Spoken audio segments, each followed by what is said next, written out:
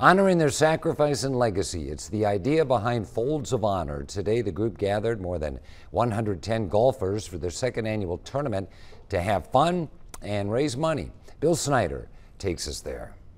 Left face.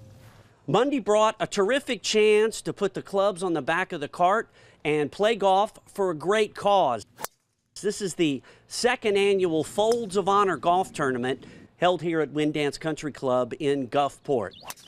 Folds of Honor is uh, an incredible organization, and um, Anheuser-Busch has a partnership with Folds of Honor every year, uh, and Mitchell Distributing kind of does our own part to be able to help too. Folds of Honor started back in 2007, and their goal is pretty simple.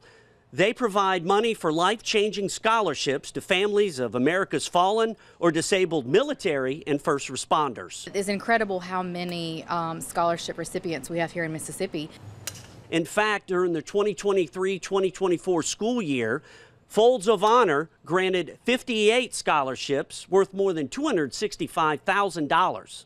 That's why Mitchell Distributing is a key cog in making this tournament and these scholarship opportunities work. It's really special to all of our hearts, and it's one of those things that we're just thrilled to be a part of and to be able to help. Since 2007, Folds of Honor has awarded more than 52,000 scholarships. So, driving for show and putting for dough are important.